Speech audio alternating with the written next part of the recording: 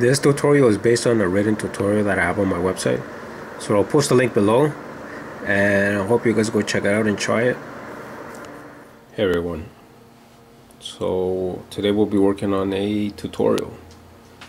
And this tutorial is, is going to be on how to draw leopard spots. Okay, I'm going to first start, start off by first showing you the tools that I'm going to be using.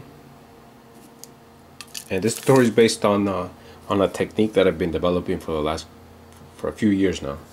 So if this is your first time here, I'm to post a link below to a tutorial that explains it much better. And so I suggest that you read that first and then come back and try this out. Okay, first pencil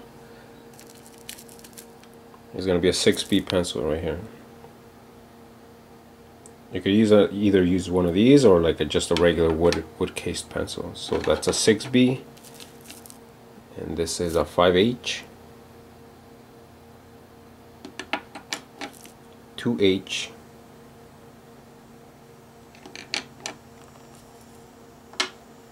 uh, this is a they call these this is a, a graphite stick.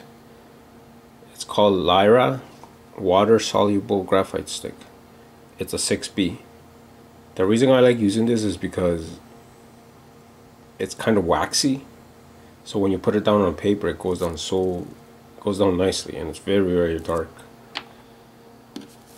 And this this is think they're called chamois towels. They're used for uh, washing cars and but th these are great for uh, for absorbing for blending pencil.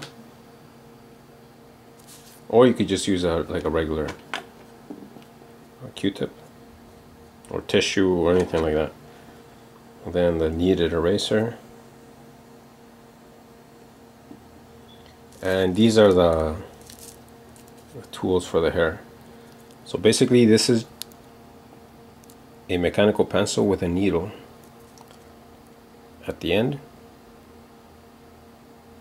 and you could make this just all you need to do is get the right gauged needle one that fits at the end.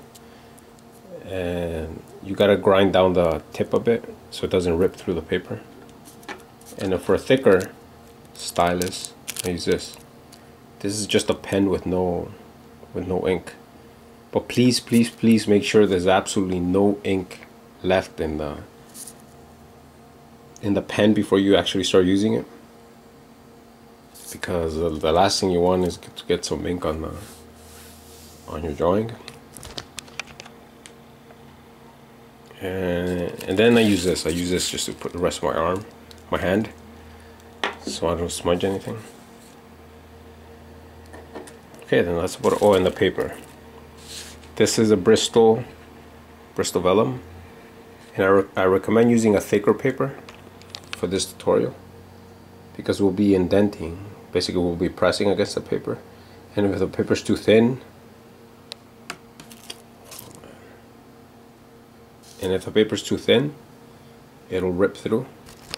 So I recommend using a thicker paper